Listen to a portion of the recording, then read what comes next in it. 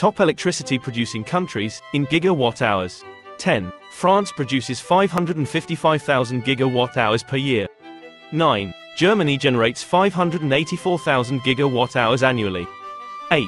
South Korea produces 595,000 gigawatt hours.